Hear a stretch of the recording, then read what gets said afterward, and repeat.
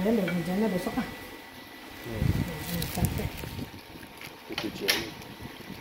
Ini udah keluarin kan cuci gampang. Udah keluarin.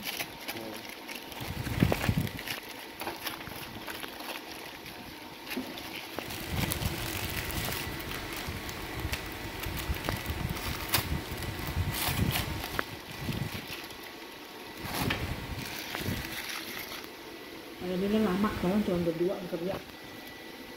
Dia, Hmm. dulu kan banyak orang kan. Oh, tahu deh. Tapi